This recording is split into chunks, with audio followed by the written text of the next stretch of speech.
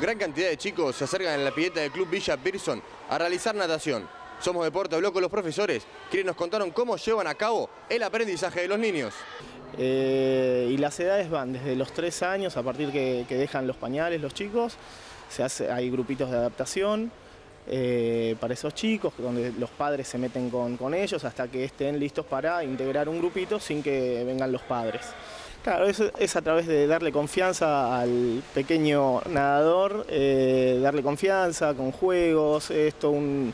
una adaptación que se hace, una ambientación con los chicos, por eso esto es importante, que compartan ese momento con los padres para que sea lo menos traumático posible en un ámbito que si bien eh, es conocido por ellos, pero es nuevo, es una pileta, es algo muy grande, pero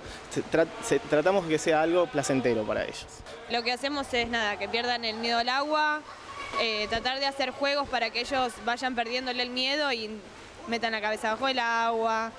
Vienen con los padres cuando, hacen, cuando son muy chiquitos, eh, tratan de hacer una adaptación, pero ya es poco, poco tiempo el primer clase y después ya la segunda ya se quedan normalmente, tranquilamente. Tratamos de que no la pasen mal, que se diviertan y que puedan sacarse el miedo y si bueno, si veo que hay algo que no le gusta o que no quiere, bueno, trato de hacerlo protagonista como para que pueda poder participar, para que pueda participar también. Eh, y la expectativa es que todos aprendan a nadar, todos aprendan a meter la cabeza bajo el agua por lo menos y que la expectativa general es que se diviertan, vengan acá a divertirse y a, y a sacarse todo el miedo que tienen.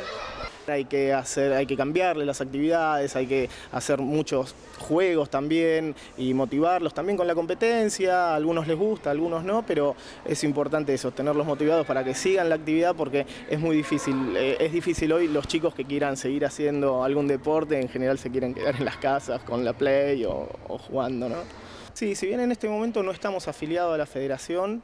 eh, pero tenemos chicos que salen a competir, que vamos, los llevamos a hacer aguas abiertas o torneitos eh, intermunicipales con la Municipalidad de Vicente López, que siempre nos invitan. Eh, sí, sí, sí, competimos, los llevamos a competir.